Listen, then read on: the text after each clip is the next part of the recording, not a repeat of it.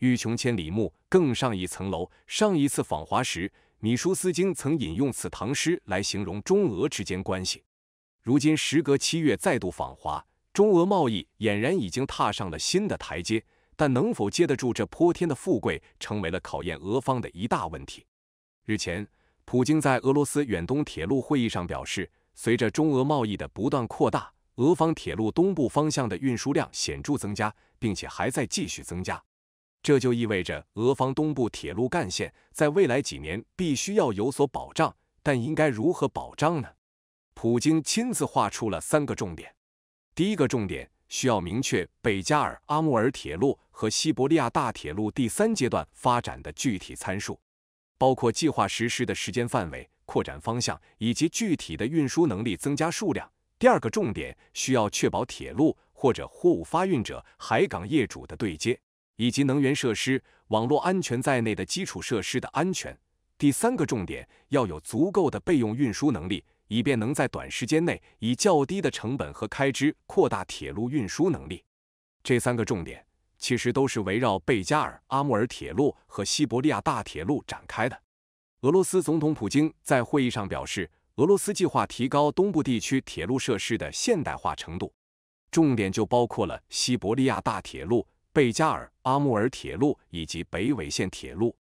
首先，我们必须明确的一点是，这三条被普京划了重点的铁路，可以说都与中国息息相关。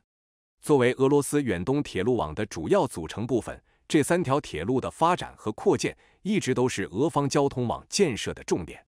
或许有些人对西伯利亚大铁路和贝加尔阿穆尔铁路这两条铁路不太熟悉，但需要重点标明的是。这两条铁路是中俄铁路的大动脉。首先，我们来说说贝加尔阿穆尔铁路，俗称贝阿铁路。贝阿分别指的是贝加尔湖和阿穆尔河，其中阿穆尔河是俄罗斯人对黑龙江的叫法。该铁路全长四千三百多公里，横贯整个远东地区，把中国东北、俄罗斯远东和西伯利亚串联在了一起。是苏联时期为了防止日本北上所修建。不过，随着二战爆发，该铁路逐渐被搁置。上世纪七十年代，中苏关系逐渐紧张。当时，苏联担心，如果发生冲突，沿着两国边境修建的西伯利亚大铁路可能无法保持畅通，这会导致莫斯科与远东之间的联系完全中断。为了防止这种情况发生，苏联决定修建一条位于远离两国边境、位于远东后方腹地的铁路。于是，符合这两个要求的贝阿铁路被重新启动。如今，除了北方四岛问题，俄罗斯基本上不用担心东方的局势，因此这条铁路也开始为中俄之间的经济活动而服务。如今，该铁路已经成为了连接中俄经济的重要存在。根据数据，去年俄罗斯通过贝阿铁路和西伯利亚铁路成功运送了超过八亿吨货物，其中有一半的货物目的地是中国。至于西伯利亚大铁路，又被誉为第一亚欧大陆桥，想必许多人都听说过。起点莫斯科，终点海参崴，全长九千二百多公里，横跨九个时区，设有通往中国的支线，是中俄之间重要的陆路运输通道。它是沙俄东扩的产物，总长达九千二百八十八公里，横跨欧亚八个时区，是全球最长的洲际铁路。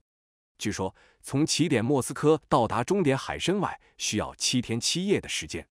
值得一提的是，该铁路是连接俄罗斯远东和欧洲本土的重要交通纽带，同时也是俄罗斯在俄乌战事和欧美制裁的背景下的关键后勤保障线。中俄之间高达两千亿美元的货物贸易，基本上都是通过这条重要通道运行的，其重要性不言而喻。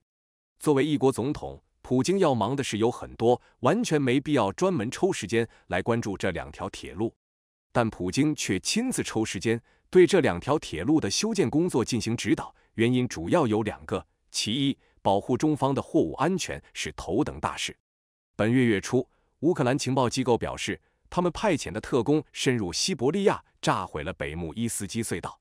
该隧道直到二零零三年才投入运营，是贝阿铁路全线最后一个通车的路段，也是俄罗斯最长的铁路隧道，长达十五公里。北莫亚隧道位于布里亚特共和国，横穿北莫亚山脉。在隧道通车前，所有途经的列车需要从被称为“魔鬼桥”的临时线路翻山越岭，绕行五十四公里，而且由于坡度太大，列车上坡需要额外的机车牵引。讲到这里，大家应该就明白为何乌克兰要挑这条隧道下手了。贝阿铁路是中俄之间的运输动脉，而北莫亚隧道则是这条动脉中最致命的一环，它的修建难度是最大的。因此，一旦出现重大意外，它的修复难度恐怕也是最大的。因为这件事关系到了中国货物的安全，因此事发一周之后，俄方就抓到了凶手。据说该凶手提前在一列四十一节车厢的列车上安装了四个炸药包，其中似乎还有三个车厢装载有航空燃油。爆炸事件发生后，乌方对此事大肆炒作，其目的就是想让全世界知道，俄罗斯的远东后方已经不再安全。俄方虽然对此低调处理，但不安全的种子已经在很多人心里发了芽。在这种情况下，普京亲自上阵，无疑就是向外界彰显中俄铁路大动脉的安全性，确保中方货物不受侵扰。其二，随着中俄贸易规模的扩大，铁路扩建十分紧迫。此前，中俄曾设下一个大目标，在二零二三年年底之前实现双边贸易额两千亿美元。如今，中俄已经圆满完成了目标。据官方数据显示，今年中俄的双边贸易额有望达到两千三百亿美元。而在这其中，中俄铁路命脉出了大力气。俄方表示，贝阿大铁路和西伯利亚大铁路的运输能力在今年年底将达到一点七三亿吨，与二零一三年相比，增长量达到了创纪录的七千五百万吨。预计到二零二四年。其输送能力将达到一点八亿吨。需要提到的是，当前这两条铁路的运输量应对目前的中俄贸易绰绰有余。但在日前，俄总理米舒斯京访华，与中方就扩大双方贸易规模一事达成了共识，这就意味着两方货运量会大大增加。而与前边提到的两条铁路不同的是，普京提到的北纬线铁路却是一条尚未建成的铁路。二零一八年。俄罗斯提出要在亚马尔半岛建设一条通往北极港口的铁路，该铁路最初预计将在二零二三年完工，建成后将成为世界上最北端的铁路。乌拉尔地区丰富的自然资源将可以借这条铁路进入北极航道，大大缩短通往中国等亚洲国家的运输路程。尤其是西方全面制裁的大背景下，北极航道的重要性进一步显现。如今。欧洲所有的港口都不允许俄罗斯的船只停靠，西方对俄石油限价令更是让大部分俄罗斯油轮得不到航运保险。而一艘船如果没有保险，那么苏伊士运河、土耳其海峡等重要的航运通道都不可能对其放行。换句话说，俄罗斯的海运能源运输已经不能完全指望传统航道了。俄罗斯更多的能源从北极航道向东方出口是未来的必然趋势。这也是为什么普京要提前布局北纬线铁路，只有先为封闭的北部地区打通出一条通往北冰洋的通道，北极航线才能充分发挥其作用。值得一提的是，此前俄罗斯副总理库斯努林曾表示，为了集中建设东部地区的其他铁路，北纬线铁路的建设将会暂停。如今，普京亲自推翻了这一说法，表示北纬线铁路的建设不会暂停，它仍然是西伯利亚地区发展的主要任务之一。除了经济上的意义，这条连接乌拉尔工业中心与北极航线的铁路还有重要的地缘政治意义。在俄罗斯看来，北极地区对其寻求战略纵深、威慑其他国家方面的优势兼而有之。北极地区被俄罗斯视为其北部的重要安全屏障，同时也是俄罗斯重要的战略出海方向。不同于波罗的海和黑海直接面临北约舰队的威胁，从临近北冰洋的摩尔曼斯克港出发。俄罗斯北方舰队能够绕过北约成员国家而进入大西洋，而在远东地区，随着美国大力推行印太战略，日本右翼势力抬头，萨德入韩以及北方四岛问题的热度越来越高，俄罗斯太平洋舰队面临的压力逐年增加。但问题是，俄罗斯目前根本就没有多少精力升级太平洋舰队的武器装备，一旦太平洋方向发生意外，俄罗斯北方舰队大概率是需要通过北极航线进行支援的。